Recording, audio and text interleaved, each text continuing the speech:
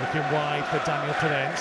Podence back in field on his right foot, whipping a cross in. Oh, Diego Costa got his head to it but couldn't keep it down.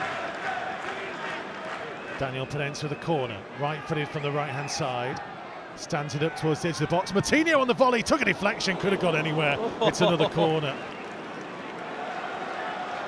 Toney back to Damsgaard, wide again for Mbeumo. Looks to lift his cross in. Oh, it's in! Brentford have got themselves the, the lead. A nothing chance, really. Ball delivered into the penalty area. Here come Wolves with Bueno down the left hand side.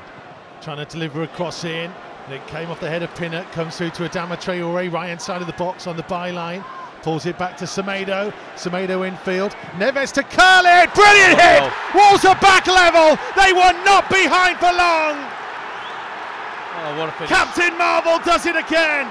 Ruben Neves at the same ground that he carved an effort into to win the game last season.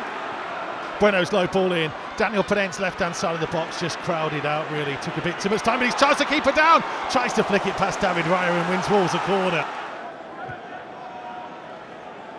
Here's Diego Costa up towards the edge of the penalty area. Costa on his left foot, striking low, and a good Oh. save by the goalkeeper. Martino over the halfway line.